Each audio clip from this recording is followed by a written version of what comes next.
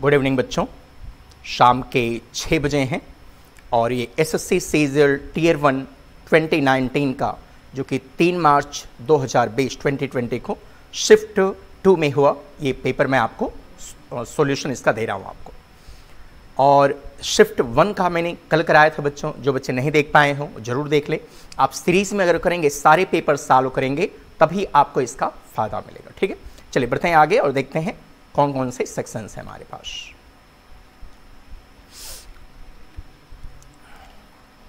पहला क्वेश्चन आपके सामने है सेलेक्ट द सेनोनिम यानी आपको क्या चूज़ करना है यहाँ पे? सेनोनिम चूज़ करना है कि पैथेटिक का सेनोनिम क्या होगा? पैथेटिक मीन्स क्या होता है? जो व्यक्ति सिंपैथेटिक हो मीन्स करुणा से, दया से भरा होता है, वो पैथेटिक होता है, ठीक है? तो पैथेटिक का सनम क्यूरियस तो नहीं होगा। क्यूरियस अगर आपको याद हो, कीन होता है या ईगर होता है या अल्लाह को डश होता है, ये तो नहीं होगा। इनसिग्निफिकेंट क्या होता है? इनसिग्निफिकेंट होता है आपका इंपॉर्टेंट में यू एन जोड़ दें अनइम्पॉर्टेंट ये भी नहीं होगा आपका। पिटीफुल होता है। पिटीफुल मीन्स क्या होता है? काइंड मीन्स पैथडिक या सिंपैथेटिक और डल नहीं होगा। डल मीन्स क्या होता है? कई होता है बच्चों। अगर आप कलर के सेंस में लेते हैं तो डल मीन्स धुंधला होता है।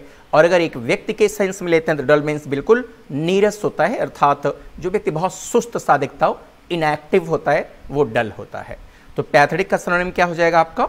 पिटीफुल हो जाएगा। ठीक है? जितने वर्ड्स हो बच्चों, उनको भी देखा करें। ज़रूरी नहीं कि यही पैथेटिक तैयार करें और सरोनिम आपने तैयार कर लिया पिटीफुल हो गया। ऐसा नहीं। सारे वर्ड्स तैयार करेंगे, तब आप एग्ज़ाम में बेहतर कर पाएँगे। ये आपको ग्रामेटिकल एरर देखना है। कौन से पोर्शन में ग्रामेटिकल एरर है आप ठीक है? देखते हैं। द मॉडर्न मैन सही है? एक जो आधुनिक व्यक्ति है। मॉडर्न मैन है मैन सिंगुलर है तो इस सही है, इसके साथ एडजेक्टिव है बिज़ी और बिज़ी के साथ आपको वर्ब प्लस आईएनजी लेना होता है, ये भी सही है अक्वायरिंग यानी एक जो आधुनिक व्यक्ति है, वो बिज़ी है अक्वायर करने में। क्या अक्वायर करने में? क्या प्राप्त करने में? मोर एंड मोर वेल्थ सही है? अधिक से अधिक को वेल्थ अगर ये मच एंड मोर होता या मोर एंड मोस्ट होता तो गलत होता. ये एंड के पहले अगर कंपेरेटिव डिग्री है तो एंड के बाद भी कंपेरेटिव है. सही है? More and more wealth and and designing ये अगली क्लास है आप एंड डिज़ाइनिंग किससे जुड़ रहा है? अक्वायरिंग से. अगर इस डिज़ाइनिंग के स्थान पे एंड डिज़ाइन होता या एंड डिजाइंड होता तो गलत हो जाता. क्योंकि एंड के पहले आपकी कौन सी प्रेजेंट पार्टिसिपल ली गई थी? अक्वायरिंग तो एंड के बाद भी क्या आना चाहिए? आईएनजी फॉर्म सही है? डिज़ाइनिंग क्या चीज़ डिज़ाइन करता है वो? वेज वो तरीके, वो तौर तरीके टू इन्वेस्ट है ना? यहाँ पे टू इन्वेस्ट इन्वेस्ट करने के, लगाने के लिए। क्या इन्वेस्ट करने के लिए? इट इट किसके लिए है बच्चों? इट किसके लिए है? वेल्थ के लिए है। अगर यहाँ इट के स्थान पे देम होता तो ये क्या हो जाता गलत? क्योंकि वेल्थ यहाँ पे अनकाउंटेबल नाउन के रूप में है तो फिर देम गलत हो जाता, इसलिए इट भी यहाँ पे सही है। और वो इन्वेस्ट करता है इन सही? इन्वेस्ट इन ये भी सही है। मोर सेंस प्लेजर्स अब यहाँ दो चीज़ें बच्चों। यहाँ पे क्या था? मोर एंड मोर वेल्थ वो गेन करता है है ना? More and more wealth acquire करता है तो उसे more and more sense pleasures में क्या करेगा? खर्च भी करेगा, और अगर more and more sense pleasures में खर्च करेगा तो यहाँ तो केवल मोर लिखा है, यानी पहला जो करेक्शन कर लें, वो कर लें मोर एंड मोर दूसरा, अगर वो सेंस प्लेजर्स ले रहा है तो हम प्लेजर्स अगर नाउन ले रहे हैं तो सेंस से बेहतर वर्ड हम चूज़ करते हैं, जो यहाँ पे बेहतर भी रहेगा, वो क्या है? सेंसुअल तो हो जाएगा is invest it in more and more sensual pleasures या अगर ये चल भी जाएगा सेंस प्लेजर्स तो यहाँ मोर एंड मोर ले लें। यानी हमारा जो एरर पोर्शन होगा, वो किसमें हो जाएगा? थर्ड पोर्शन में in more sense pleasures in more and more sensual pleasures बेहतर रहेगा आपका, ठीक है? एंटोनिम चूज़ करना है आपको हिलेरियस हिलेरियस क्या होता है? जो व्यक्ति अति प्रसन्न होता है मीन्स बहुत अधिक खुश होता है ओवर ज्वाइड होता है। क्या होता है जो? ओवर ज्वाइड होता है, वो हिलेरियस होता है। तो एंटोनिम ढूंढना है तो हैप्पी तो इसका सनोनिम हो जाएगा। ब्लाइथ मीन्स भी क्या होता है? खुश, प्रसन्न तो ये सनोनिम हो जाएगा। मेरी भी क्या होता है? खुश, प्रसन्न, ये भी इसका सनोनिम हो जाएगा। अगर ये तीनों, हैप्पी, ब्लाइथ और मेरी सनोनिम हो जाएँगे तो क्या आपको बताने की ज़रूरत है? आंसर क्या हो जाएगा? सैड। तो हिलेरियस का एंटनिंग क्या हो जाएगा? सैड हो जाएगा। हिलेरियस मीन्स बहुत अधिक खुश, अति प्रसन्न तो सैड दुखी, उदास. Select the most appropriate word to fill in the blank ये फिल इन द ब्लैंक है, आपको चूज़ करना है. It is an dash day यानी एक ऐसा दिन है, कैसा है, आगे देखते हैं. To start your new business यानी आपके नए बिज़नेस को शुरुआत करने के लिए, शुरू करने के लिए यह एक ऐसा दिन है। कैसा दिन है? यह एक ऑडिसस है। मीन्स ढीठ, ढीठते से भरा हुआ है। मीन्स धृष्टता से भरा हुआ है। क्या ऑडिसस यहाँ सही रहेगा? ऑडिसस मीन्स दो होता है बच्चों। एक होता है इस सेंस में। साहसिक इस सेंस में अगर आप लेते हैं तो ये क्या होता है? ब्रेव हो जाता है या एडवेंचरस हो जाता है, ये हो जाएगा आपका। और अगर आप इसे ढींट के सेंस में लेते हैं तो ये हो जाएगा। इंसॉलेंट हो जाएगा।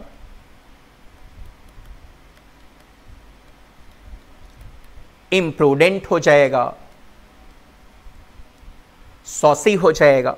तो क्या ये वर्ड यहाँ सही रहेगा? इस सेंस में क्या दिन को, अरे बिज़नेस को शुरुआत करने के लिए साहसी दिन की ज़रूरत है या ढीठ दिन की ज़रूरत है? नहीं तो ये हटा देते हैं। नेक्स्ट वर्ड है ऑस्पिसस ऑस्पिसस किससे बना है बच्चों? ऑस्पिस से। ऑस्पिस क्या होता है? मीन्स कोई चीज़ तो मंगलकारी हो, ठीक है? मंगलकारी हो मीन्स आपके लिए बेहतर हो। अर्थात जो कहीं कहीं ब्लिश्ड हो, वो ऑस्पिसस होता है, जो ऑस्पिस से बना है। तो ऑस्पिसस की मीनिंग अगर हो गई मंगलकारी मीन्स शुभ तो आपके बिज़नेस को शुरू करने के लिए कौन से दिन की ज़रूरत पड़ेगी? इसी दिन की ना। ये जो ऑडिसस यहाँ पे है, ये भी नेगेटिव वर्ड था। ये जो ऑमिनस है, ये भी अमंगलकारी होता है, अशुभ वाला संकेत देने वाला होता है, अपशकुन वाला होता है तो ये भी आपका नेगेटिव वर्ड है। अकेजनल क्या होता है? अकेजनल मीन्स होता है, दो अर्थ में होता है। एक प्रासंगिक के सेंस में और एक होता है यदा कदा मीन्स कभी कभी ही। तो क्या कभी कभी वाले दिन की ज़रूरत आपको है? इसी आपके लिए तैयार होगा आपका। यहाँ कौन सी ज़रूरत आपको है? ऑस्पिसस के। बच्चों, इसी ऑस्पिसस में अगर आप एल वाई जोड़ लेंगे तो ये एडवर्ब हो जाएगा। अभी ये क्या है? ओ यू एस के साथ एडजेक्टिव है। ये भी एडजेक्टिव ये भी एडजेक्टिव ये भी एडजेक्टिव और ए एल के साथ ये भी एडजेक्टिव क्योंकि अकेजन से बना है। अकेजन मीन्स अवसर अकेजनल अवसर अवसर पर और अकेजनली मीन्स एडवर्ब के रूप में हो जाएगा ठीक है? तो यहाँ पे आपको जो चूज़ करना है, वो ऑस्पिसस हो जाएगा। पांचवा क्वेश्चन आपका है नरेशन का क्वेश्चन है। इनडायरेक्ट में आपको बदलना जो बहुत आसान बच्चों, ठीक है? एक्चुअली सीजियल टीयर वन को क्वालिफाई करना बहुत मुश्किल नहीं बच्चों। आराम से कर सकते हैं। बस ये देखना है कि आप कितने नंबर्स एक्वायर कर लेते हैं। अगर आपको बेहतर करना है तो ओवर 22 यानी बेस से ऊपर ही आपको नंबर्स गेन करने मतलब क्वेश्चंस आपको सही करने होंगे आपको। He said to me what are you doing कल वाले शिफ्ट में अगर आपने देखा हो, कल जो मैंने सॉल्व कराया था, उसमें हेल्पिंग वर्ब से शुरू था क्वेश्चन मार्क था। तो आपको मैंने कहा था, वहाँ पे इफ़ होगा और यहाँ पे आश्क या इंक्वायर्ड हो जाएगा, ठीक है? तो यहाँ बस क्या हो गया? हेल्पिंग वर्ब के बजाय डब्ल्यू एच से शुरू है और यहाँ क्वेश्चन मार्क है। तो दो चीज़ क्लियर हो गया होगा आपका कि ये जो सेड है आपका, ये हर हाल में क्या होगा? आश्क्ड या इंक्वायर्ड हो जाएगा। और इन्वर्टेड कॉमा के स्थान पे डब्ल्यू एच आएगा, यानी अगर वाक्य में आपके दैट दिया गया होगा तो ये क्या हो जाएगा? गलत हो जाएगा। He said what I had been doing यहाँ सेड देखते ही समय न गवाएँ, गलत हो गया आपका। ही आश्कड मी पहला पोर्शन सही है। ही आश्कड मी वाट ये भी सही है दैट तो है नहीं यहाँ पे वाट और फिर पहले सब्जेक्ट लेंगे आप चूँकि वॉट अप कंजंक्शन हो गया यहाँ पे तो पहले सब्जेक्ट आएगा। तो अगर आप यू को मी को देखेंगे तो क्या बन गया? आई तो वट आई और आर प्रेजेंट कंटिन्यूस जाएगा। पास्ट कंटिन्यूस में तो वट आई वाज डूइंग सही है? अब देखने की ज़रूरत नहीं होनी चाहिए, समय बचाना है तो लेकिन फिर भी देख लें। He asked me that finish बच्चों दैट तो आएगा नहीं इंटरोगेटिव में। ही सेड शेड तो आएगा नहीं, यानी आपका आंसर क्या है, बिल्कुल एक्यूरेट है, सही है आप, ठीक है? Select the most appropriate word to substitute the underlined word of the given sentence. If no substitution is required, select no improvement.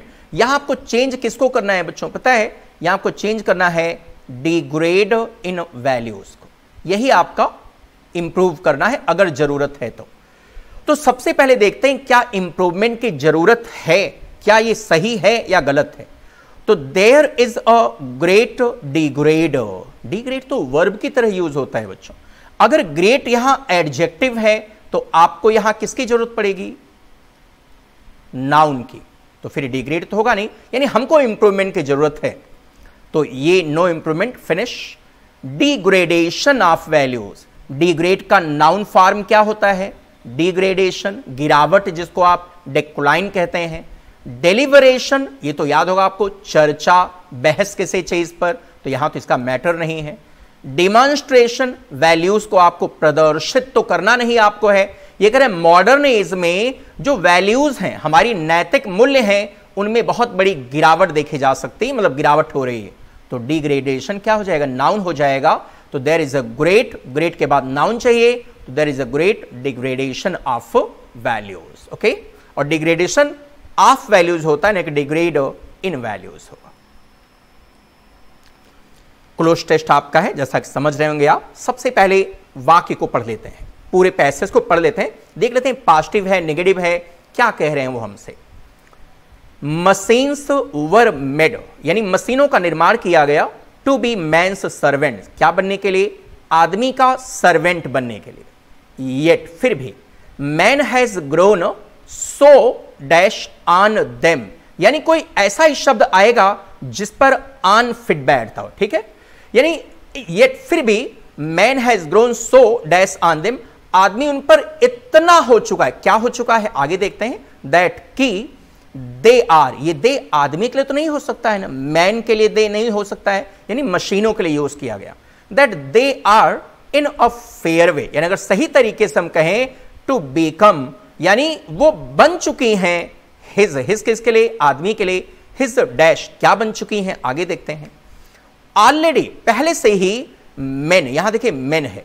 Men spend most of their lives यानी अपना ज़्यादातर जीवन जो है, वो व्यतीत कर देता है लुकिंग आफ्टर देखभाल करते हुए एंड वेटिंग डैश मशीन और मशीनों का क्या करते हुए, क्या होते हुए, आगे देखते हैं।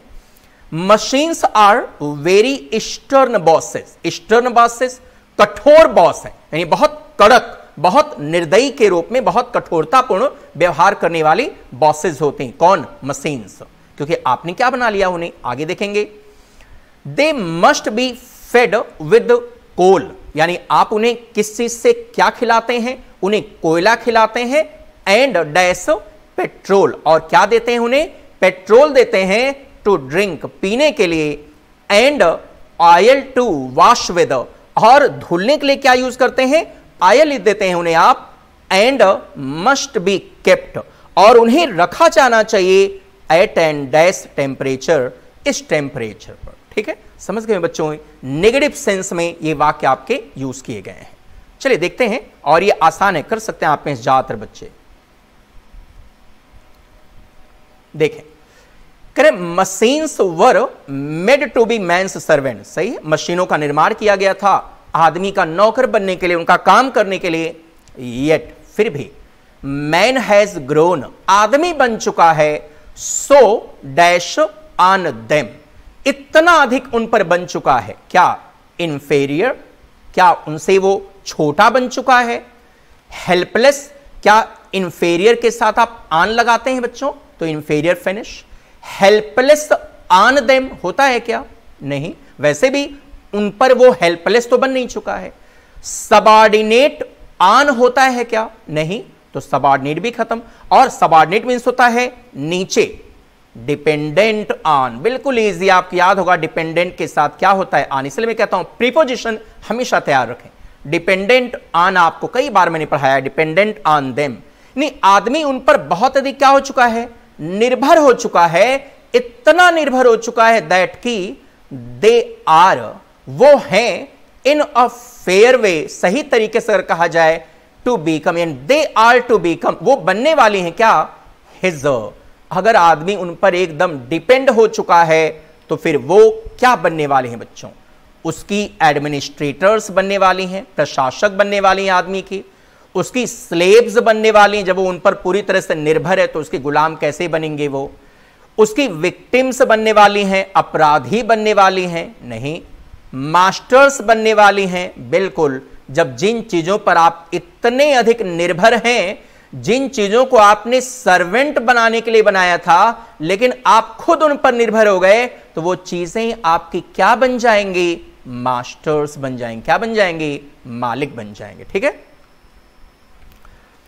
ऑलरेडी पहले से ही men spend most of their life looking after शुरू से ही क्या हो रहा है? कि आदमी अपना ज़्यादातर जीवन व्यतीत कर देता है लुकिंग आफ्टर उनकी देखभाल करते हुए।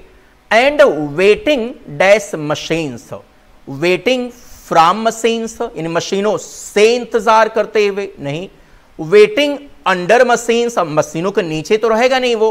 नहीं वेटिंग अंडर नहीं। Waiting upon machines waiting upon machines wait upon में जानते हैं बच्चों क्या होता है? ये भी प्रीपोजिशनल ही एक तरह से है, एक मिनट यहाँ लिख दे रहे बच्चों। वेट अपान मीन्स होता है to attend as a servant नौकर की तरह देखभाल करना। तो ऑलरेडी क्या है? Man spend most of their life looking after यानी उनकी देखभाल करता रहता है। एंड वेटिंग अपान मशीन्स और मशीनों को एक नौकर की तरह क्या करता है उनको? अटेंड करता है। कौन? आदमी। यहाँ वेट क्या हो जाएगा? वेट अपान हो जाएगा। ठीक है? Machines are very stern bosses मशीनें जो होती हैं, वो बहुत ही कठोर बॉसेस होती हैं। दे, और चूँकि कठोर है इसलिए they must be fed with बच्चों, ध्यान रखिएगा कंफ्यूज नहीं होएगा कभी। अगर आप ये वर्ड देखें ना फेड अप विद ये लिखा होगा, इसके मीन्स होता है त्रस्त हो जाना। क्या हो जाना? त्रस्त हो जाना। I am fed up with you मैं आपसे त्रस्त हो गया हूँ, परेशान हो गया हूँ। लेकिन अगर केवल फेड विद है तो इसके मीन्स होता है, जो चीज़ आप भोजन करा रहे हैं, वो दिखाया जाता है। तो they must be fed with coal यानी उन्हें क्या खाने को चाहिए? कोयला खाने को चाहिए एंड पीने को क्या चाहिए? पेट्रोल चाहिए। तो फिर यहाँ क्या हो जाएगा बच्चों? एंड अब यहाँ मस्ट बी फेड था, ठीक है? यानी must be passive voice must be fed तो एंड के बाद भी पैसिव वैस आएगा। तो एंड मस्ट बी क्या? पैसिव वैस में वर्ब की कौन सी फॉर्म आएगी? थर्ड फॉर्म पैसिव वैस में सेकेंड फॉर्म आएगी नहीं। पैसिव वैस में फ़र्स्ट फॉर्म आएगी नहीं। एस फॉर्म तो आएगी नहीं आपकी, केवल थर्ड फॉर्म आएगी। एंड के पहले जो होता है फॉर्म वही आपको एंड के बाद लेना है। तो एंड के पहले पैसिव में वर्ब की थर्ड फॉर्म थी तो यहाँ भी कौन सी फॉर्म होगी? थर्ड फॉर्म होगी। क्या हो जाएगा? And must be given petrol to drink and oil to wash with and और मस्ट बी केप्ट और उन्हें रखा जाना चाहिए एट एन किस पर रखा जाना चाहिए बच्चों? At an outdated temperature outdate तो बहुत बार आपने पढ़ा होगा। नहीं at an optimum temperature optimum means अनुकूल सबसे अच्छा हो सकता है। एट एन ऑप्टिमिस्ट टेम्परेचर अभी आपने कल परसों पढ़ा था, आशावादी, नहीं। एंड ऑप्शनल ऑप्शनल वैकल्पिक वैकल्पिक टेम्परेचर पे तो लगे, रखेंगे नहीं। उन मशीनों किस पर रखना होगा आपको? अनुकूल टेम्परेचर पर मीन्स ऑप्टिमम टेम्परेचर पर। इजी रहा होगा बच्चों, कर सकते हैं आप। रांगली स्पेल्ट वर्ड आपको ध्यान रखिए, मैं नहीं कराया बच्चों, आप अपने से करिएगा, मैं पीडीएफ डाल देता हूँ, डिस्क्रिप्शन बॉक्स में जाएँगे तो वहाँ आप लिंक पर क्लिक करेंगे तो आप मेरे टेलीग्राम चैनल पे जाएँगे, वहाँ पे आपको इसका पीडीएफ भी मिल जाया करेगा, ठीक है? कल का भी मैं डाला था, आज का भी एडिटोरियल का भी हर पीडीएफ में डालता हूँ तो वहाँ जो बच्चे टेलीग्राम चैनल पे ना हो, वो ज्वाइन कर लें तो वहाँ वैसे मिल जाएगा, और अगर आप ऐसे डायरेक्ट जाना चाहते हैं, डायरेक्ट भी देख सकते हैं आप, ठीक है? यहाँ रांगली स्पेल्ट आपको देखना है। मैंशन मैंशन क्या होता है बच्चों? कोई एडिफिश कोई बिल्डिंग सही है? यानी कोई एडिफिस कोई बिल्डिंग या फिर कोई स्ट्रक्चर ये मेंशन होता है। तो M A N S I O N सही है? ऑस्टेंटेशन वर्ड अगर आपको याद हो तो इससे बना है बच्चों। ऑस्टेंटेट ऑस्टेंटेट मीन्स होता है दिखावा करना, प्रदर्शन करना। इसी से बना है ऑस्टेंटेशन यहाँ क्या लग जाएगा? ये ऑस्टेंटेशन नाउन के रूप में। तो लास्ट में देखिए T A T I O N है। और यहाँ क्या है? एस आई ओ एन है। यानी गलत क्या है? ये है। एक्सटेंशन आप समझते होंगे, इससे बना है। एक्सटेंड से एस आई ओ एन हो जाता है। सही है। परसुवेशन किससे बना है? आप जानते हैं। परसुवेड से बना है। डी एस में कन्वर्ट हो गया। सही है परसुएशन किसी को मनाना मीन्स मनुहार करना, मनाने का कार्य करना, ये परसुएशन है। ठीक है? वैसे ही परसुएशन प्रेरणा के सेंस में परसुएशन का अर्थ ये भी होता है बच्चों। स्टिम्यूलस मीन्स एनकरेजमेंट ये भी होता है। तो आपका जो गलत वर्ड है वो ऑस्टेंटेशन है एस आई ओ एन नहीं होगा टी आई ओ एन हो जाएगा। यहाँ आपको most appropriate meaning of the idiom यानी ईडियम है ऑन शैंक्स मेयर ठीक है? अगर आप जानते हो शैंक मीन्स क्या होता है? फुट मेयर मीन्स सवारी, घोड़ी। तो आप अगर आन फुट अपनी पैर पर चलते हैं तो you are walking on shanks mare तो क्या हो जाएगा? ऑन फुट याद कर लीजिएगा on shanks mare means on foot पैदल सवारी. यहाँ आपको भी फिर से ईडियम चुनना है आपको. और snake in the grass intermediate से पढ़ते आ रहे हो बच्चे. जो लोग आस्तीन के सांप होते हैं हिडन एनिमी होते हैं, वो a snake in the grass होते हैं. मीन्स कौन होता है? अ सीक्रेट एनिमी जो आपके साथ ही रहता हो, लेकिन आपसे दगा करता हो डिसीव करता हो आपको वट वट बीट्रे करता हो आपको आपको धोखा देता हो चीट करता हो तो he is a snake in the grass VCS किससे बना होगा बच्चों? ये एंटनिम चूज़ करना है। वीसीएस आप जानते होंगे वाइस से बना है। वाइस क्या होता है आपका? नैतिक बुराई। जब आप कोई नैतिक बुराई करते हैं ना, वो वाइस होता है। जब आप कोई धार्मिक बुराई करते हैं तो वो सिन होता है। और जब कोई आप कानूनन बुराई करते हैं तो वो क्या होता है आपका? क्राइम होता है। ठीक है, जान लें। आपने सामाजिक या नैतिक व्यवहार में बुराई दिखाई तो एक वाइस है। आपने कोई धार्मिक बुराई दिखाई तो ये एक सिन है। आपने कोई सरकारी यानी राजकीय कानूनन बुराई दिखाई, जो कानून विरुद्ध है तो वह एक क्राइम है। इसी वाइस से क्या बना? वीसीएस। तो वाइस का एंटनिम तो बच्चों की जबान पे होता है। वाइस का एंटनिम क्या होता है? याद है? वर्च्यू। तो वर्च्यू से क्या बना होगा? Antonym virtuous. यही हो जाएगा ना बच्चों। वाइस से क्या बना? वीसीएस। तो वर्च्यू से क्या बन जाएगा? वर्चुअस। एंटानिम हो गया। बेनफुल भी नेगेटिव है सिनफुल भी नेगेटिव है और अनफॉर्चुनेट भी नेगेटिव है। तो वीसीएस का तो एंटनिम है, इस नेगेटिव का एंटनिम तो पॉजिटिव होगा ना वर्चुअस हो जाएगा। बेनफुल क्या होता है बच्चों? अभी मैंने लिखा था एक जगह, जो अनब्लेस्ड हो मीन्स क्या हो बिल्कुल? क्या उसे कहते हैं? शापित हो शाप ग्रस्त हो, वो बेनफुल होता है। सिनफुल क्या है? पापी होता है, जो आदमी एक तरह से ये होता है बच्चों। रग आर ओ जी यू ई वो क्या होता है? सिनफुल होता है। अनफॉर्चुनेट आप जानते हैं, अभागा, दुर्भाग्यशाली जो होता है, वो अनफॉर्चुनेट होता है। अनलकी जिसको आप कह सकते हैं।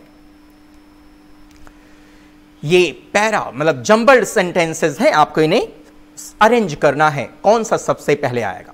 मैंने कल एक क्लू दिया था बच्चों, आप अगर समय बचाना चाहते जैसे आपने ये नेवर देखा बच्चों, बिना पढ़े उड़े, कुछ भी किए बिना ये नेवर द लेस यहाँ आरंभ में आ गया, फिर कॉमा आ गया, जिसका अर्थ है फिर भी। तो फिर भी कि पहले कुछ रहा होगा, तभी तो फिर भी आएगा। तो ए से अगर कोई है तो वो आपका कम हो जाएगा बच्चों, ये कभी नहीं होगा। और चेंज दैट इज़ सब्जेक्ट से शुरू है, हो सकता है, देखते हैं। But different people but different people तो तभी आएगा ना, जब उसके पहले कुछ लोगों के बारे में बात की गई होगी। यानी सी से कभी नहीं होगा। सी से है कोई, है भी नहीं, मैटर खत्म। सो सो तो तभी आएगा ना, जब कोई कारण बताया गया होगा। सो क्या है? डी। डी से ये भी खत्म।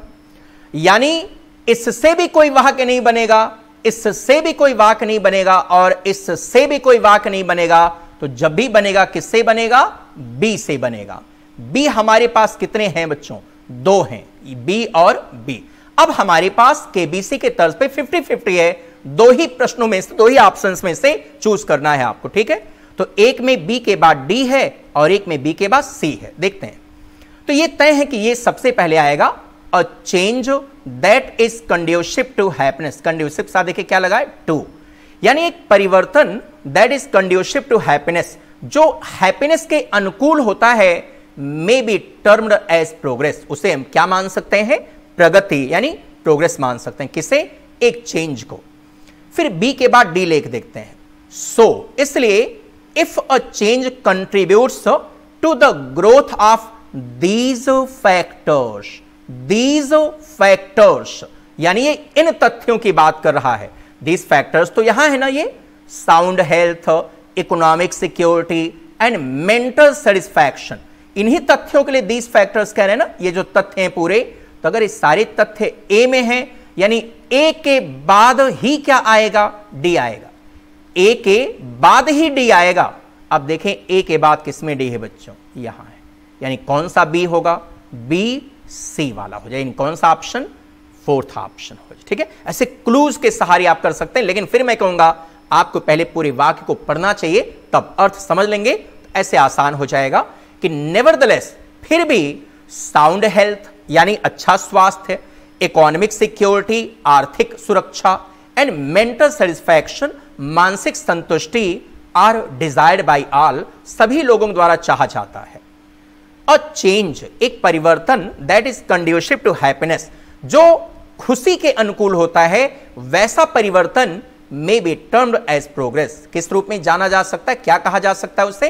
प्रगति कहा जा सकता है। बट लेकिन different people find different sorry find happiness in different things अलग अलग लोग अलग अलग चीज़ों में क्या पाते हैं? खुशी पाते हैं। सो so, इसलिए if a change contribute to the growth of these factors it is progress यदि परिवर्तन इन इन फैक्टर्स के ग्रोथ में मदद करता है योगदान देता है तो यही क्या कहलाता है? प्रगति।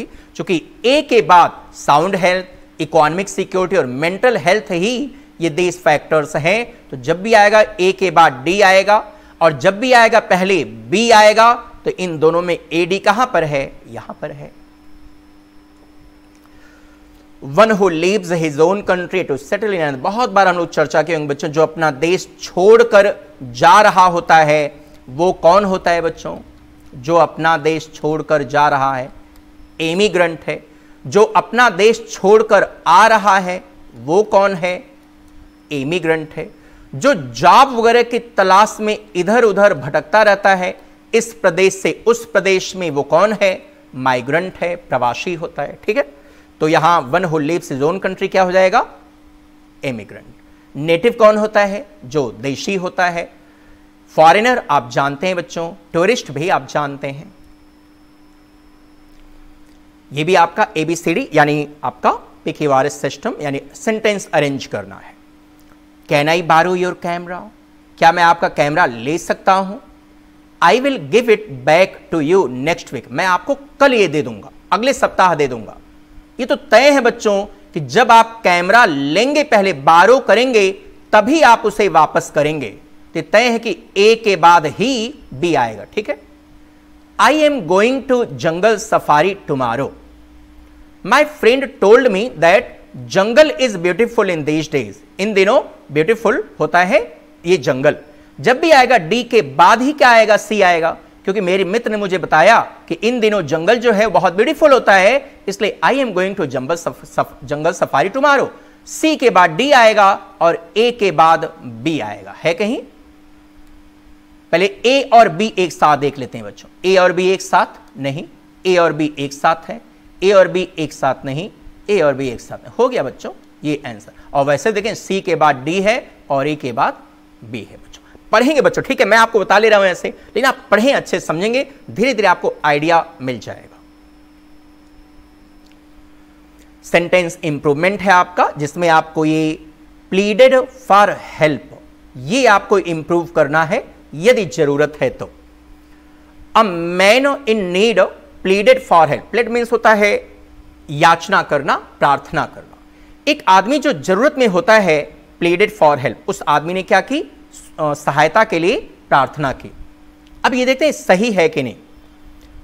रिक्वेस्टेड फॉर हेल्पिंग जब आप रिक्वेस्ट लेते हैं ना, जब आप ऑर्डर लेते हैं, जब आप अर्ज़ लेते हैं, जब आप कमांड यूज़ करते हैं, जब आप एडवाइज यूज़ करते हैं, जब आप, और कोई वर्ड बच्चों, जिस तरह यूज़ करते हो आप रिक्वेस्ट हो गया ऑर्डर हो गया अर्ज़ हो गया कमांड हो गया एडवाइज हो गया, इन शब्दों के साथ बच्चों, और भी अगर आप यूज़ करते हो असिस्ट वगैरह, लेकिन छोड़िए, इन शब्दों के साथ आपको फार प्लस आईएनजी नहीं लेना होता है। आपको क्या लेना होता है? फुल इन्फिनेटिव लेना होता है। क्या लेना होता है? फुल इन्फिनेटिव तो रिक्वेस्टेड के साथ फार हेल्पिंग नहीं आएगा। रिक्वेस्टेड टू हेल्प होता तो सही हो जाता। प्रॉमिस्ड फॉर हेल्प जो आदमी खुद नीड में है, वो आपको हेल्प के लिए प्रॉमिस कैसे करेगा? कमांडेड टू हेल्प देखिए कमांड के साथ टू हेल्प सही है, लेकिन जो आदमी नीड में है, वो हेल्प के लिए कमांड कैसे करेगा? इसका मतलब ये प्लीड फॉर खुद क्या है आपका? सही प्लीड फॉर मीन्स मदद मांगना मीन्स प्रार्थना करना। तो उसने मदद के लिए क्या की? प्रार्थना की। यानी क्या हो जाएगा यहाँ? नो इंप्रूवमेंट हो जाएगा। कॉमन एरर बच्चों ग्रामेटिकल एरर आपका। The prime minister along with याद आ गया अभी कल हम लोग बात कर रहे थे ना? Like along with with together with and not in addition to in comparison to as well as besides rather than but in सब के साथ हमें बाद वाले के अनुसार नहीं चलना होता है। पहले वाले के अनुसार चलना है। तो एलॉन्ग विद के साथ हमारे सब्जेक्ट में क्या है? द प्राइम मिनिस्टर अब आगे हर हाल में ऐसा ही कुछ होगा। The prime minister along with the other में एलांग विद क्या होता है? के साथ साथ। यानी अन्य मन, अन्य मंत्रियों के साथ साथ प्रधानमंत्री हैव लेफ़्ट ये हैव किसके लिए होना चाहिए? प्राइम मिनिस्टर के लिए। तो क्या लगा सकते हैं क्या किसी कंडीशन में आप? कभी नहीं। यहाँ क्या होना चाहिए? हैज़ होना चाहिए। Has left for America. Leave for means चले जाना, यानी अमेरिका के लिए वो चले गए हैं, प्रस्थान कर गए हैं। यानी ये हैप गलत है, इसका मतलब कहाँ गलत है आपका? ये गलत है। यहाँ हैब के बजाय क्या हो जाएगा? हैज़। ये आपका क्या है? Active voice. पैसिव वॉयस है। The thief was being arrested was being plus verb की थर्ड फॉर्म यानी ये वाक्य पहले से ही क्या है? पैसिव है। तो मेरा क्लू याद करिए बच्चों, बहुत आसान हो जाएगा। पहले से पैसिव है और वाज प्लस बीइंग है। यानी ये कंटिन्यूअस प्लस बीइंग में है। तो पैसिव में अगर ये कंटिन्यूअस प्लस बीइंग में है तो एक्टिव में किसमें रहा होगा? कंटिन्यूअस में रहा होगा। यही ना? अब देखते हैं कौन कौन से में कंटिन्यूअस है। द पुलिस वाज अरेस्टिंग है ना? Past continuous the police arrested past indefinite खत्म. द पुलिस हैज़ खत्म. द पुलिस हैड खत्म। बच्चों, इतना आसान देखें। अगर मेरा क्लू याद कर लें आप, कोई भी इंडेफिनिट एक्टिव वैस में है पैसिव में कंटिन्यूस कोई भी कंटिन्यूस में एक्टिव वैस है तो कंटिन्यूस प्लस बीइंग कोई भी परफेक्ट है तो परफेक्ट कंटिन्यूअस और कोई भी मॉडल है तो मॉडल प्लस बी पैसिव में ये was being plus third form है तो एक्टिव में किसमें रहा होगा?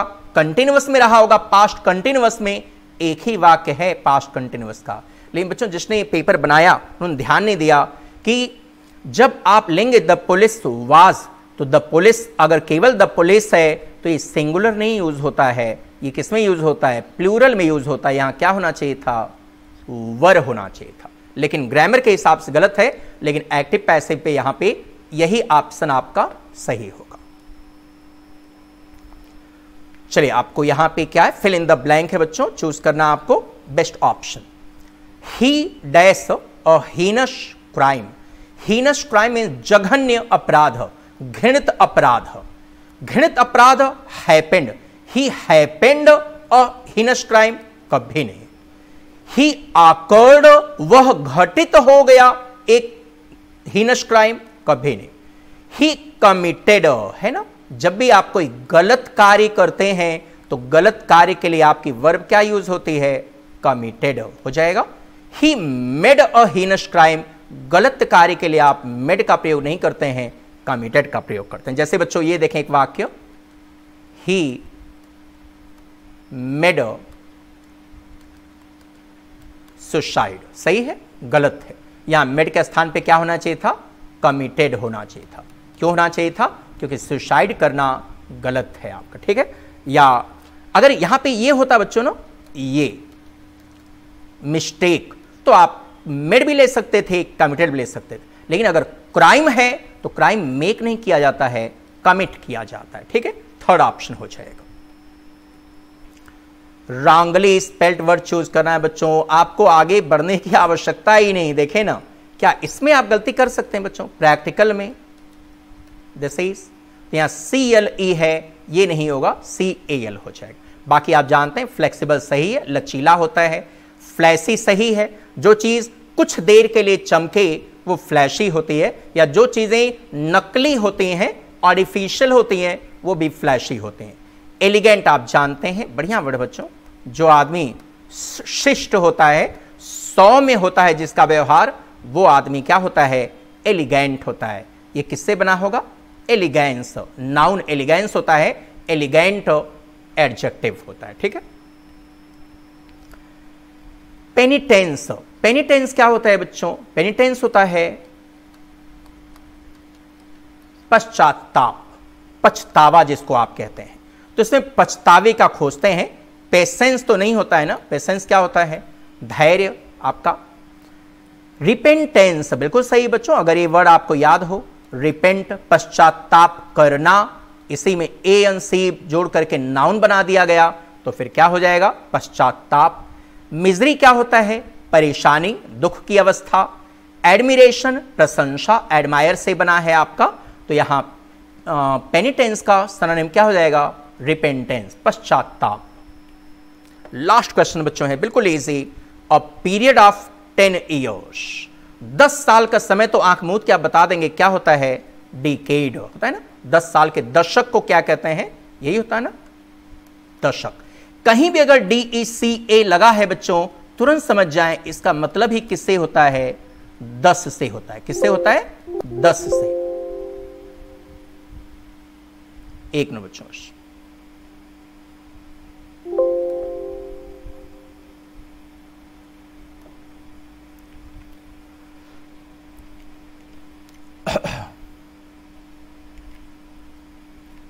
एक मिनट बस।